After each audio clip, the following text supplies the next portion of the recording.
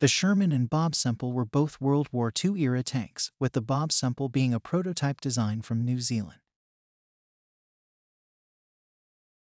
Designed around a tractor base and only featuring light armor, the Bob Semple never saw action during the war.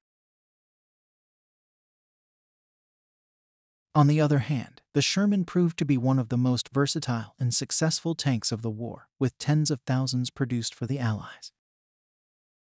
While the M4 Sherman was considered relatively mobile, it could not reach the 720 km per hour shown here.